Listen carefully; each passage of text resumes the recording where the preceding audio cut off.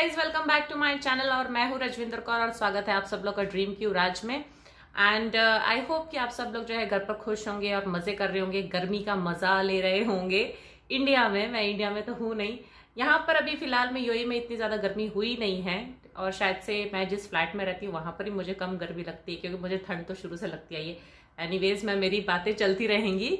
तो आज हम लोग देखने वाले हैं ट्रिगर्ड इंसान का स्टोरी टाइम वीडियो और जितना मुझे याद है तो इन्होंने जो है स्टोरी टाइम बंद कर दिया था और कहा था कि इसके बाद शायद से स्टोरी टाइम की वीडियोस नहीं आएँगे और अब तक जितनी भी इन्होंने स्टोरी टाइम्स की वीडियोस बनाए हैं अमेजिंग अमेजिंग तो आज शायद से कोई न्यू स्टोरी इनको याद आई होगी। तो ज़्यादा टाइम वेस्ट नहीं करते हैं और शुरू करते हैं हम लोग आज की वीडियो चलिए। और हाँ अगर आप लोगों ने अभी तक इनका ओरिजिनल वीडियो नहीं देखा है तो लिंक डिस्क्रिप्शन में है तो ज़रूर जाकर देख लीजिएगा। चलिए। Hello hello hello hello guys welcome to another story time video अब तुम में से बहुत सारे लोग बोल रहे होंगे कि एक सेकंड एक और स्टोरी टाइम वीडियो तूने जो आज से तीन महीने पहले स्टोरी टाइम वीडियो डाली थी उसमें तूने बोल दिया था कि वो तेरे चैनल की शायद लास्ट स्टोरी टाइम वीडियो होने वाली। ऐसे मैंने पिछले चार साल में चालीस से ज़्यादा स्टोरी टाइम वीडियोस बना के मेरी ज़िंदगी के जितने भी अच्छे अच्छे इंसिडेंट हुए हैं मैंने ऑलरेडी सारे तुम्हें सुना दिए। बट डज दैट मीन मैं अपने चैनल की सबसे पॉपुलर सीरीज़ को बंद कर दूँगा? अच्छा जी।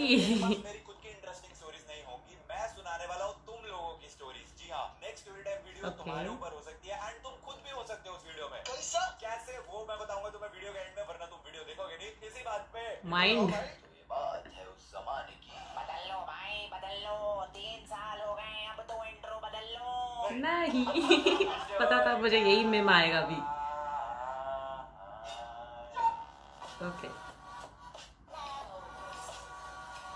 तो आज की वीडियो जिनके बारे में है वो नहीं चाहती कि हम उनका रियल नाम अपनी वीडियो में लें इसीलिए हम वाले हैं चुम्मी। मुझे नहीं पता चुम्मी क्यों पूछना भी मत क्यों बस चुम्मी मेरे दिमाग में आया तो चुम्मी। तो ये बात स्टार्ट हुई है चुम्मी की ट्वेल्थ खत्म होने के बाद। चुम्मी की ट्वेल्थ में 95 परसेंटेज थी which was very high but चुम्मी का इंटरेस्ट फ़ैशन डिज़ाइनिंग में था इसलिए उन्होंने फ़ैशन डिज़ाइनिंग का कोर्स ले लिया। लेकिन ये बात उनके पेरेंट्स को बिल्कुल नहीं पसंद थी क्योंकि वही स्टीरियोटिपिकल माइंडसेट इंजीनियरिंग या फिर मेडिकल बस यही दो फील्ड्स है इसके अलावा तीसरा कोई ऑप्शन है ही नहीं बट चुम्मी का इंटरेस्ट फ़ैशन में था तो उन्होंने अपने पेरेंट्स की ना सुन के फ़ैशन डिज़ाइनिंग का कोर्स परस्यू करा लेकिन छह महीने फ़ैशन डिज़ाइनिंग करने के बाद उनको फ़ैशन डिज़ाइनिंग क्विट करना पड़ा क्योंकि उसमें बहुत ज़्यादा फ़ील्ड वर्क होने लग गया था एंड उनको हार्ट में प्रॉब्लम थी जिस वजह से वो इतना फ़ील्ड वर्क नहीं कर पा रही थी एंड अनफॉर्चुनेटली उनको अपना फ़ैशन डिज़ाइनिंग का कोर्स छोड़ना पड़ा। तो इस तरीके से चुम्मी का पूरा ईयर वेस्ट हो गया क्योंकि उनको ड्रॉप लेना पड़ा एंड अब उनके पेरेंट्स जिद पे आ चुके थे कि अब उनको मेडिकल ही करनी पड़ेगी। तो छह महीने के बाद जब नया सेशन स्टार्ट हुआ तो चुम्मी पटना से दिल्ली आ गई मेडिकल की तैयारी करने। एंड नेक्स्ट एक साल तक अकॉर्डिंग टू चुम्मी दिल्ली के किसी बहुत ही वाहियात से गर्ल्स हॉस्टल में रहते हुए उन्होंने मेडिकल की तैयारी करी। अब इस हॉस्टल में शुक्ला जी नाम की एक वार्डन थी, जो की हिटलर से कम नहीं थी। हर लड़की की ज़िंदगी में क्या चल रहा है, शुक्ला जी को जानना ज़रूरी है।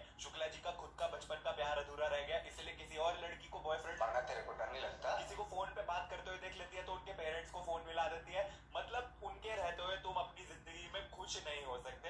ऊपर यहाँ पर ना मैं आप लोगों को बताऊँगी कि मेरे जो डैड थे ना, अगर आप लोगों को पता भी होगा तो होटल मैनेजमेंट में वहाँ पर हॉस्टल वार्डन थे। बट इनसे बिल्कुल डिफरेंट, जैसे ये बता रही है ना कि बहुत हॉस्टल वार्डन स्ट्रिक्ट थी। डैड एकदम सॉफ्ट, इतने सॉफ्ट नेचर के थे ना कि मतलब बच्चे उनके जो है ना पैर पड़ के जाते थे कि हमें जो है ना गुड विशेज़ दो हमारे एग्ज़ाम्स वगैरह है।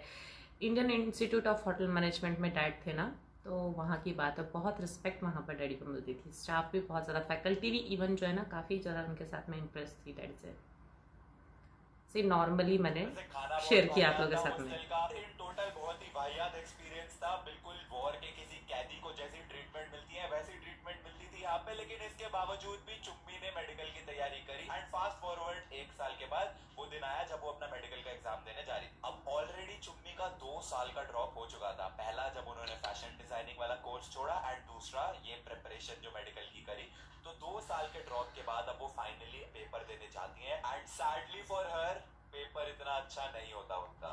उन्होंने जितने क्वेश्चन अटेम्प्ट करे, उसके अकॉर्डिंगली उन्होंने काफ़ी अच्छा स्कोर करा, लेकिन स्पीड कम स्पीड होने की वजह से वो ज़्यादा क्वेश्चन अटेम्प्ट नहीं कर पाती और नीट में तीन घंटे में तुम्हें 180 क्वेश्चन अटेम्प्ट करने पड़ते हैं। तो उनका score was decent but not good enough to get a good college and family इतनी वेल टू डू नहीं थी कि वो एक प्राइवेट कॉलेज की फ़ीस अफोर्ड कर पाए। तो अनफॉर्चुनेटली उनको एक बार फिर से ड्रॉप लेना पड़ा। दो बार वो ऑलरेडी ड्रॉप कर चुकी थी। How sad. थर्ड ईयर उनका फिर से ड्रॉप हो रहा था। एंड सबसे सैड पार्ट पता क्या था? पेरेंट्स अभी भी जिद पे अड़े हुए थे कि मेडिकल ही करना है। चुम्मी कभी भी डॉक्टर बनना ही नहीं चाहती थी। फ़ैशन डिज़ाइनिंग का कोर्स छोड़ने के बाद सिर्फ़ अपने पापा को खुश करने के लिए उन्होंने नीट की तैयारी करी जिसमें ऑब्वियसली वो अच्छा स्कोर नहीं कर पाई क्योंकि इंटरेस्ट ही नहीं था उस फ़ील्ड में तो कैसे अच्छा परफॉर्म कर लेती? अपने मन को मार के पापा की खुशी के लिए एक बार ट्राई करा। नहीं हुआ बट पापा अभी भी पीछे पड़े हैं कि नहीं नीट की तैयारी करो डॉक्टर ही बनना है। डॉक्टर का रुतबा होगा वो पड़ोसी के बेटे का उस कॉलेज में हो गया फलाने के बेटे का उस कॉलेज में हो गया एंड रोज रोज के वही ताने कि तुमने अच्छे से सीरियसली ना यहाँ पर जो है ना मैं सिर्फ़ एक ही बात बोलना चाहूँगी कि अ, मतलब पेरेंट्स को भी उतनी अंडरस्टैंडिंग होनी चाहिए है। कि वो क्या कर रहे हैं अपने अपनी इच्छाओं के लिए अपने जो स्टेटस को मेंटेन करने के लिए। बच्चों की इच्छाएँ मारते हैं ये बहुत ही गलत चीज़ लगती है मुझे आज भी और आज भी मैं काफ़ी जगह पे ये चीज़ें सारी देखती हूँ।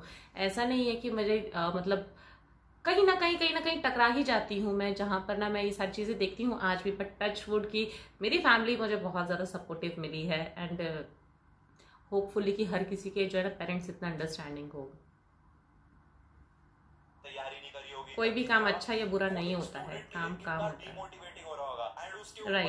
Demotivate का हो जाते हैं। हो चुका है। एंड पिछले डेढ़ साल से जिस मेडिकल की किताबों को तुम रट रहे हो अब एक बार फिर से ड्रॉप करके वही बुक्स को फिर से पढ़ना बहुत ही ज़्यादा डिमोटिवेटिंग हो गया था उनके लिए। एंड वो डिप्रेशन में थी। उन्होंने अपने पापा हो जाता है बात करी depression, कि वो correct. medical नहीं करना चाहती थी मेरी फ्रेंड है जिसको तो जैसे depression declare ऐसी कुछ उसके- उसके दो साल ऐसे वेस्ट हो गए थे, वो लिटरली डिप्रेशन में जा रही थी कि मेरे टू इयर्स जो है ना वेस्ट हो गए, क्योंकि वो थोड़ा सा कंफ्यूज हो रही थी ना कि मैं कौन सी जो है ना फ़ील्ड में जाऊँ, कौन सी फ़ील्ड में बट आज टचवुड वो अच्छी जगह पे जॉब कर रही और बहुत ज़्यादा जो है ना मतलब खुश है अपनी जॉब में। तब चुम्मी ने डिसाइड करा कि उनको मेडिकल नहीं करनी है एंड उनको मास कम्युनिकेशन का कोर्स जो है वो इंटरेस्टिंग लगा। सो शी डिसाइडेड कि वो उस कोर्स को परस्यू करेगी। बट उनके पेरेंट्स के सर पे तो मेडिकल मेडिकल डॉक्टर डॉक्टर का भी। चढ़ा हुआ है। तो उनकी सपोर्ट तो उनको नहीं मिलने वाली। तो जो भी करना है चुम्मी को अब छुप छुप के अपने पेरेंट्स से करना पड़ेगा। तो चुम्मी ने क्या करा? उन्होंने Amazon से जितनी भी बुक्स उनको मास कम्युनिकेशन की तैयारी के लिए चाहिए थी वो सब मंगवा ली और अपने पापा के सामने वो बिल्कुल ऐसे प्रिटेंड करती थी कि वो मेडिकल ही पढ़ रही है लेकिन अपनी मेडिकल की बुक्स के नीचे उन्होंने अपनी मास कम्युनिकेशन की किताबें छुपा रखी होती Oh थी. जैसे ही पापा जाते थे मेडिकल की किताब साइड एंड मास कम्युनिकेशन सही दिमाग। ऊपर एंड अगले एक साल तक एक साल तक चुम्मी इसी तरीके से छुप छुप के अपने पेरेंट्स से मास कम्युनिकेशन एक साल बहुत लंबा टाइम होता है कि पकड़े नहीं गए अभी तक। वगैरह आ गई पर चुम्मी की किस्मत इतनी ज़्यादा बुरी कि जिस दिन मास कम्युनिकेशन का पेपर होना था उनका सेम डे पे नीट का एग्ज़ाम सेम टाइम पे। मतलब किसी की किस्मत कितनी ही ज़्यादा बुरी हो सकती है बट चुम्मी की थी। एंड चुम्मी का मेडिकल का एग्जामिनेशन सेंटर पटना में ही था एंड मास कम्युनिकेशन का एग्जामिनेशन सेंटर उनका लखनऊ में था। तो चुम्मी ने अपने पेरेंट्स को एक फेक एडमिट कार्ड बना के ये कन्विंस कर लिया कि दोनों एग्ज़ाम लखनऊ में होने वाले हैं एक दिन में और एक शाम में। और उसने अपने पेरेंट्स को बस ये बोल दिया कि मास कम्युनिकेशन का एग्ज़ाम तो सिर्फ़ एक बैकअप ऑप्शन के लिए रखे अच्छा। है।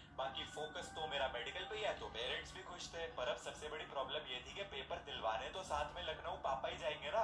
तब क्या होगा? क्योंकि पकड़े गए। सच में थोड़ी ना लखनऊ के किसी सेंटर में मेडिकल का एग्ज़ाम चल रहा होगा जहाँ पे चुम्बी जाके मेडिकल का पेपर दे देगी। एंड अभी तक ये जो कुछ भी करा है ये इसलिए करा है ताकि अपने पेरेंट्स को डिसअपॉइंट किए बिना वो अपने ड्रीम्स को अचीव कर सके। हाँ? feel करवाया कि उसने कोशिश भी नहीं करी मेडिकल की। चुम्मी की किस्मत अभी तक तो काफ़ी बुरी रही थी एंड भगवान ने भी कुछ खास सपोर्ट करा नहीं था लेकिन लास्ट मोमेंट पे चुम्बी की किस्मत चमकी।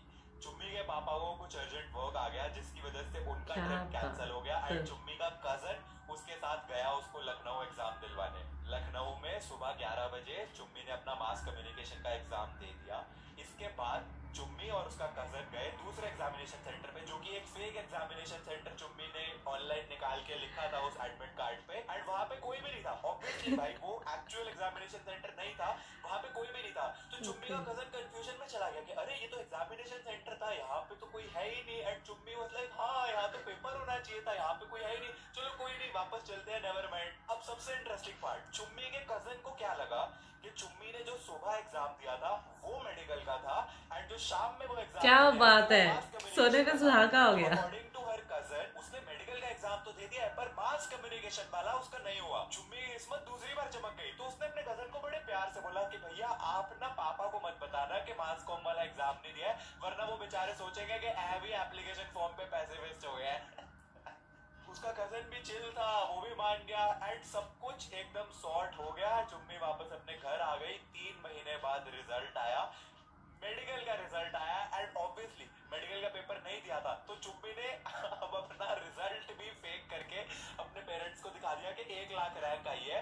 तो ऑब्वियसली एक लाख रैंक पे तो कोई भी कॉलेज नहीं मिलने वाला नीट में। एंड उसके बाद उनका मास कम्युनिकेशन का रिज़ल्ट आया, जिसमें चुम्बी ने टॉप मारा ऑल ओवर इंडिया रैंक 23 आई चुम्बी की एंड उसको उसके पसंद के कॉलेज में एडमिशन भी मिल गई। एंड अभी तीन साल हो चुके हैं उसके पेरेंट्स को आज तक ये बात नहीं पता कि उसने कभी मेडिकल की तैयारी करी नहीं थी। उनको डिसअपॉइंट किए बिना चुम्बी ने अपने खुद के ड्रीम्स को भी अचीव कर दिया। एंड उसके पेरेंट्स भी खुश है क्योंकि चुम्बी इज़ नाउ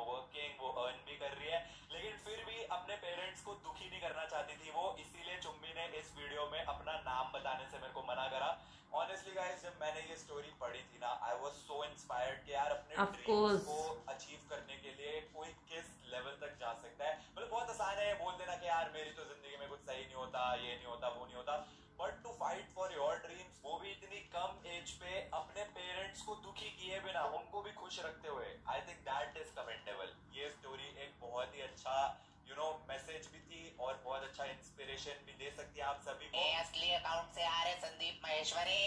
अभी आते हैं इस बात पे कि how you could be responsible for the next story time video आप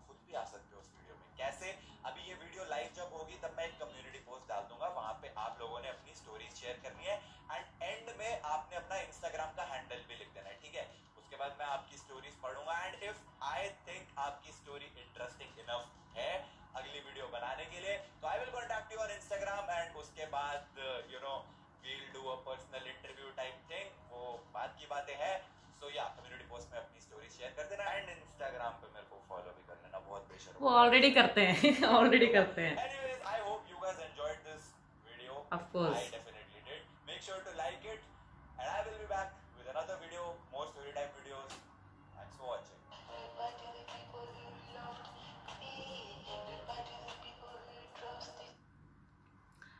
कैसा है ना मतलब सुनकर सच में बहुत जो है ना इंस्पायरिंग स्टोरी थी एंड ये होता है ना कि कोई अगर मेरा देख रहा है, मेरे इतने ज़्यादा व्यूज़ तो आते नहीं है और ना ज़्यादा मैं इतनी पॉपुलर हूँ, अगर फिर भी ये अगर ट्रिगर्ड इंसान की किसी ने स्टोरी सुनी है ये वाली तो डेफिनेटली उनके पेरेंट्स को ना ये बात समझ में आनी चाहिए। जो भी पेरेंट्स ऐसा करते हैं, अपने बच्चों पे जो इतना प्रेशराइज करते हैं एटलीस्ट वो थोड़ी सी ये बात को समझें कि बच्चा क्या चाहता है।